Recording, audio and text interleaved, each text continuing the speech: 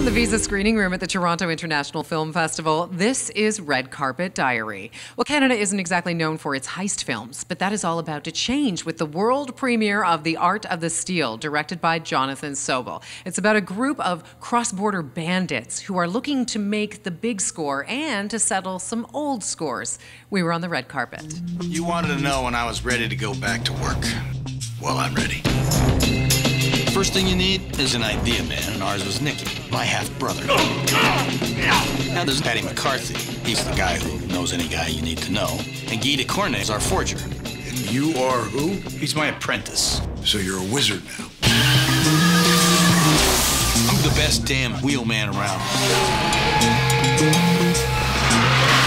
Okay, great. We're all here. I'm a huge fan of the genre, and I, I, I, respect the conventions of the genre that said, you know, you want to tweak them a little bit. But um, in, in, many ways, I kind of wanted to do a, a, a, throwback film, insofar as that, you know, a lot of the references are from, you know, like the 50s. I, you know, my, I think one of my favorite characters to play is, is the, the guy who is so confident doing what he's doing, but has no ability to execute that confidence. We all know guys like that, actually. Yeah, no, I mean, the world is populated with people like that. So it, it's always fun. They were all so respectful of the source material, which is very, very flattering and humbling. But um, uh, um, they would always know exactly what they needed to do in each and every scene. And when they did that, um, um guys like Jay Baruchel, um, more.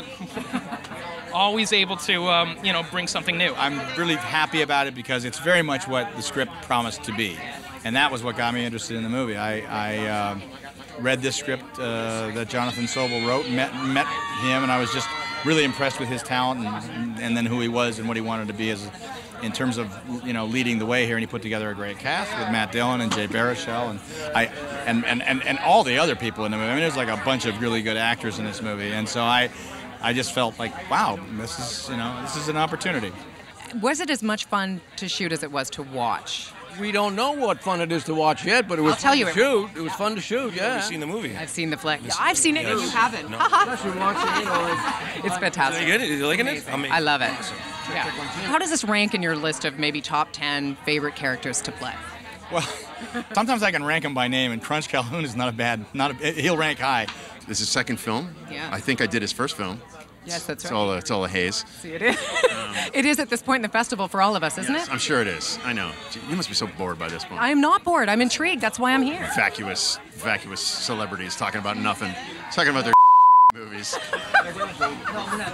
Do you think that's going to make the cut? I'm sure it will. I dare them. Sure it will. Come on, red carpet diary.